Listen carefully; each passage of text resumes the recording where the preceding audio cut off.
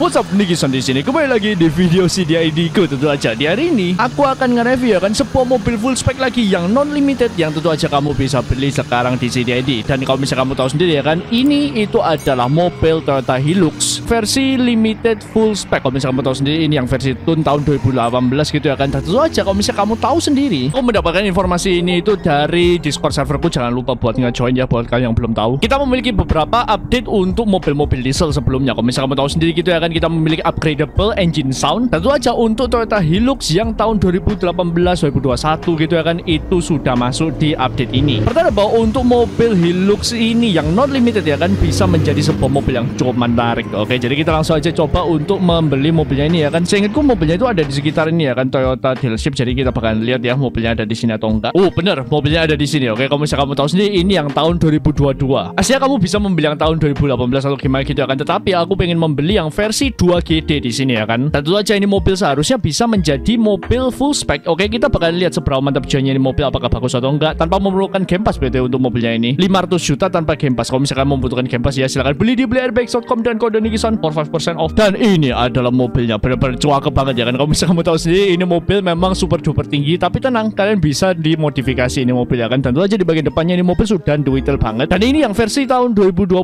atau enggak tahun 2021 ya kan. Menjadikan mobilnya ini menjadi salah satu Hilux paling baru. Tentu aja mesinnya itu 2GD dan kawan-kawan gitu ya kan. Mobilnya ini tuh ya menarik banget dibuat full spec. Mungkin aku bakal mencoba untuk yang tahun 2018 atau gimana gitu ya kan next time. Jadi kita bakalan dengerin suaranya terlebih dahulu.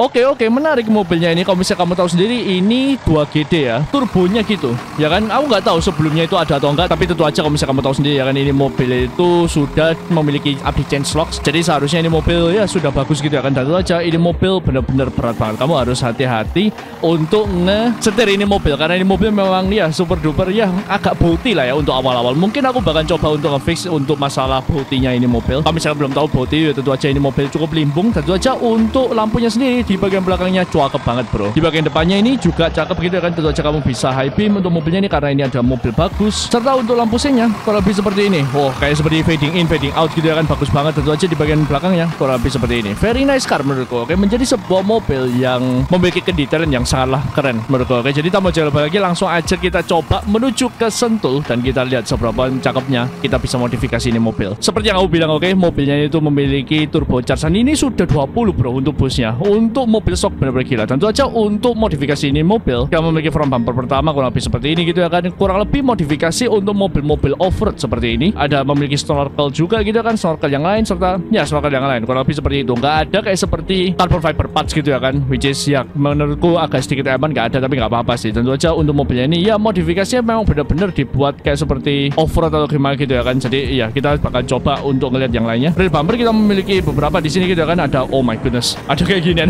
kita memiliki um, seperti ini juga wow apa ini? Ini kayak seperti sedikit bar untuk ngejadiin mobilnya ini tuh lebih stabil gitu ya. Kalau misalnya di real ya kan, ini cukup bagus ya. Oke, okay? oh no, never mind. Ini kayak seperti partsnya untuk modifikasi mobilnya orang. Wah ini keren sih menurutku. Oke, okay? tentu aja kita memiliki ya box uh, Toyota GR, ada box Indomie tentu aja ya kan, tentu aja ada kayak seperti ini, ada di bumper tain seperti ini, serta ada pisang wan tentu aja. Oke, okay? aku lebih suka yang ada kayak seperti ini bumper-bumpernya. Ini kelihatan cakep sih menurutku. Serta ini mobil nggak ada livery sama sekali, kurang lebih seperti itu. Ini kenapa kok rame banget gile? Um, Oke, okay, kalian harus hati-hati dengan ride Mungkin ini bakal sedikit ku cepetin lah ya karena memang ini mobil pengen ku jadiin kayak seperti full spec mobil-mobil cumi-cumi gitu kayak biasanya. Mainin untuk si offsetnya, oke? Okay? Ingetin, ini aku pengen ku jadiin kalian kayak seperti mobil-mobil limited pada umumnya, oke? Okay? Jadi ya makanya itu aku ngasihin sedikit tutorial lah ya kayak seperti biasanya gitu. Di bagian belakangnya juga jangan lupa ya kan karena di bagian belakangnya ini menurutku cukup ya terlalu miring juga sih ya. Jadi kalian harus mainan campernya. Mungkin untuk yang di rearnya aku jadiin plus 2 ya kan untuk di frontnya aku jadiin plus satu. Kayaknya ini udah bagus. Mungkin bakalan ku sedikitin tak lurusin dikit gitu loh pokoknya ya kan? Kurang lebih untuk mobilnya ini. Jadi kurang lebih seperti ini harusnya. Oh damn that looks nice.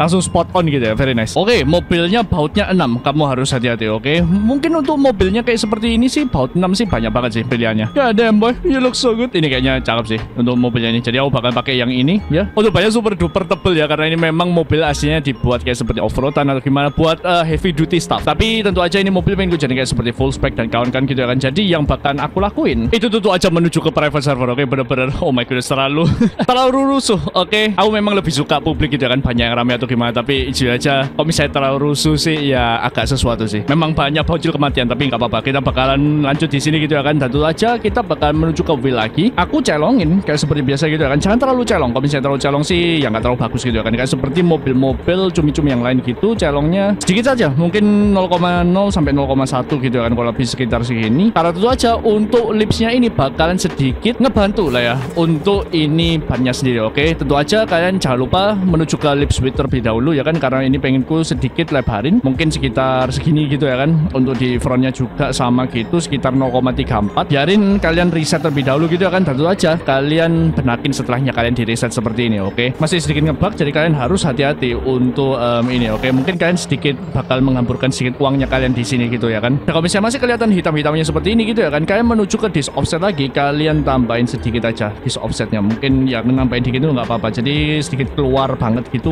masih nggak apa-apa sih menurutku. Ya kalau lebih seperti ini yang ada di bagian kanan ini itu menurutku sudah clean banget menurutku. Ini sudah kelihatan cuakep banget. Gila ini mobil menarik sih. Untuk velgnya memang sedikit kekecilan ya tapi ya gimana lagi ini bukan yang versi limited. Menurutku ini yang paling bagus sih menurutku. Oke tentu aja untuk colorsnya sendiri ya kan. Kan jadi ini mobil nggak tahu. Kalau misalnya kalian pengen jadiin yang biasa gitu ya kan kalian jadiin kayak seperti abu-abu ini udah kelihatan bagus. Tapi aku lebih suka yang sedikit luar biasa. Jadi yang aku akan lakukan itu kurang lebih ku jadiin warna kayak seperti inilah ya kayak seperti warna sedikit um, canda kayak gini ya gitu ya mantap jiwa. Dan juga aja jangan lupa untuk chrome-nya kalian delete aja untuk mobilnya ini. Karena chrome-nya ini itu sedikit jadi ini mobil kelihatan kayak seperti mobil biasa gitu kalau misalnya tanpa chrome ini mobil jadi kayak seperti mobil limited. Dan jangan lupa lagi menuju ke light color ya kan. Kalian menuju ke DRL terserah kalian bakalan ganti DRL-nya apa gitu mungkin warna merah biasanya kalian itu suka gitu ya mungkin aku lebih suka warna merah sedikit uh, marun sedikit di um, kayak seperti ini gitu sedikit pink gitu loh fog lamp-nya tentu aja kalian jadiin yellow karena ini mobil nggak ada kayak seperti mini Proji-nya atau gimana gitu ya kan memang sedikit kelihatan racer tapi nggak masalah oke okay? tentu aja menuju ke tuningan engine terus bisa kalian stage 3 untuk mobilnya ini oke okay? ini yang aku suka dari semua cumi-cumi oke okay? fully tunable dan aku pengen dengerin suaranya apakah sudah upgrade kalau misalnya kamu belum tahu suaranya yang belum di-upgrade kalau lebih seperti itu. Oke, okay? bakalan kita upgrade sekarang. Turbonya kalau misalkan single bisa 38. Pertanda kalau misalkan twin turbo seharusnya bisa gede banget. Oke, okay? 25 nggak bisa. Sampai 22. Pertanda bahwa untuk um, total boostnya itu 44. This is very nice bro. Kita coba respon gitu ya kan. Mari kita dengerin apakah suaranya itu bakalan berubah. Berubah bro untuk suaranya. Oke, okay? dengerin. Oh, that's nice. Suara benar-benar crazy. Mungkin kekurangannya ini mobil nggak ada kayak seperti asapnya. Oke, okay? mobilnya ini sudah kusesika atau gimana asapnya itu masih belum keluar. Tapi untuk suaranya itu bisa mantap jiwa, lebih keren gitu ya kan. Untuk suaranya ini kayak seperti ada apa tau popcorn popcornnya gitu kalau misalnya kalian tahu suara jangkrik gitu kalau misalnya di Jawa dengerin deh untuk suaranya ada kayak paham gak sih? Aku aku gak bisa cara ngomongnya gimana aku kurang tahu. Pokoknya suara jangkrik ada, which is yang di full spec itu biasanya ada ya kan. Berarti ini mobil, ini adalah mobil full spec sekarang, oke? Okay?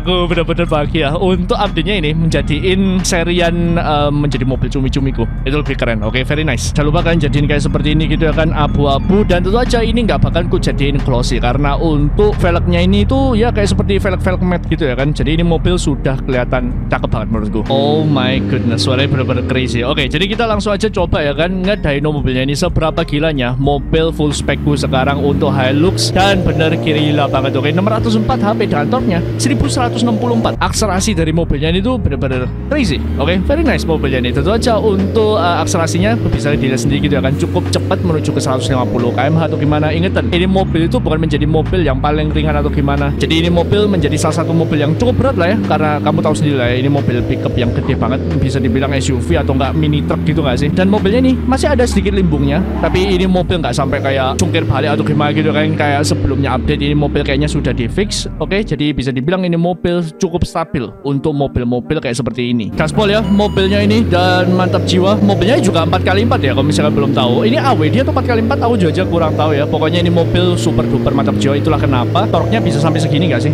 Satu aja kita coba sedikit. Oke okay. belokannya masih sedikit kayak perahu. Oke okay, masih sedikit bounty tapi super duper lebih stabil ya pada pada saat stok stok tadi itu benar-benar gak stabil sama sekali sih. Ini mobil stabil banget ya bisa dibilang ini mobil sangatlah oke dibuat mobil full spec dan itu aja top speednya 231 km/h oke? Cukup cepet sih untuk mobil-mobil kayak seperti ini. Mungkin kalau misalnya kalian pengen diesel run atau gimana gitu memakai mobilnya ini itu masih bisa. Kan sudah ngejual yang versi tune gitu ya kan kalian sedikit nyesel. Atau kalian belum beli gitu ya kan kalian bisa beli yang versi ini. Oke kurang lebih hampir-hampir sama mungkin kurangnya nggak ada asapnya gitu tapi suaranya mantap jiwa. Ini kayak seperti mobil-mobil tune untuk suaranya sendiri. Karena ya kita memiliki update yang cukup wangi ya barusan itu. Dan bisa aku bilang ini mobil cukup cakep juga dibuat ngeres oke? Aku jarang-jarang ngomong mobil cumi itu bagus dibuat racing di Sentul dan aku bisa bilang ini mobil cakep dibuat racing di Sentul karena ini ya enak banget sih. Mungkin kalian harus sedikit hati-hati untuk belokannya gitu kan. Kadang-kadang putih menuju ke kiri langsung kanan itu agak putih tapi kalau misalnya kalian ya sedikit alon-alon atau gimana ini mobil very nice Oke, mobil raksasa kayak gini, oke, jarang-jarang bisa seenak ini. Timeku not the best, oke, mungkin aku bisa 1 menit 30 detik-an lah ya. Mobilnya ini memang bukan menjadi mobil yang paling cepat, tapi ya paling menarik sih menurutku selama ini ya kan. Mungkin ini bisa aku bilang salah satu mobil biasa yang aku jadiin full spec yang cukup menarik, oke. Masuk top 3 lah ya selama ini aku membuat video-video mobil non limited full spec. Dan kalau lebih seperti itu untuk video hari ini, oke. Menurut kalian gimana untuk mobilnya ini? Apakah kalian suka dengan mobil seperti ini atau tidak? Kalau misalkan suka dengan video seperti ini, jangan lupa like dan subscribe di channel ini. And I will see you guys at the next video. And goodbye.